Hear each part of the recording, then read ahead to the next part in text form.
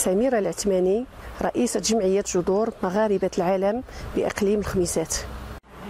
في غمرة احتفال الشعب المغربي بذكرى عيد العرش المجيد تتشرف جمعية جذور مغاربة العالم بإقليم الخميسات بتقديم أزكى التهاني وأطيب المتمنيات لأمير المؤمنين الملك محمد السادس نصره الله وأيده. ونتمن كل المجهودات المولوية السامية للنهوض بالبلاد لتحتل المكانة المرموقة التي تستحقها خاصة بعد الإنجازات المولوية الشريفة التي حققتها البلاد في عهده خاصة في الميدان الاقتصادي والاجتماعي من خلال انخراط أوراش ومشاريع المسطرة في المبادرة الوطنية للتنمية البشرية. كما ننتهز هذه الفرصة الميمونة لتقديم أخلص تشكراتنا للسيد عامل إقليم الخميسات السيد منصور قرطاح على نهجه سياسة الأبواب المفتوحة في وجه مشاكل الجالية المغربية المقيمة بالخارج. السلام عليكم. معكم خوكم حميد باشتي مطرب مقيم بالديار الفرنسية. جينا هنايا باش نشاركوا في هذه الذكرى ديال عيد العرش لجلاله الملك محمد السادس نصره الله. وبهذه المناسبة عندنا واحد الأغنية وطنية راه درناها في, في الإذاعة. وأنا فرحان لأنها دازت وتقبلات. وكنمثلوا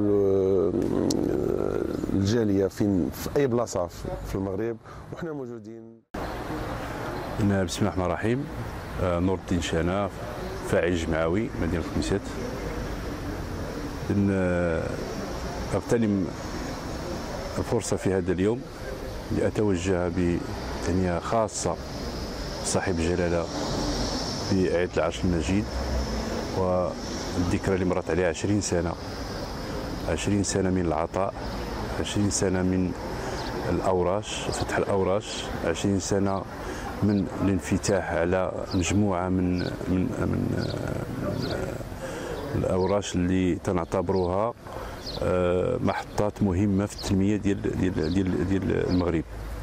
وبالتالي آه، الخطاب ديال صاحب الجلالة ديال ديال البارح هو عبارة عن واحد الملخص حول هذه العطاءات وهذه الانفتاحات ديال الأوراش الوطنية الكبرى اللي خلات واحد الآثار ديالها حول التنمية آه، داخل داخل الوطن. اولا السلام عليكم ورحمة الله تعالى وبركاته. السيد أحمد المشاطي المقيم بالديار الفرنسية وعود في الجمعية التنمية المغاربة المقيمين بالخارج. اولا نحن فرحانين بهذا اليوم السعيد ديال صاحب الجلالة محمد السادس نصره الله ب 20 سنة على عرش أسلافه المنعمين. حنا كنطلبوا له السعادة والهناء والخطاب اللي دار البارح. حنا فرحانين بزاف وكنطلبوا من الحكومة هذا الشيء اللي قال سيدنا توفق به. وهذا ما أقول لكم. السلام عليكم ورحمة الله تعالى وبركاته.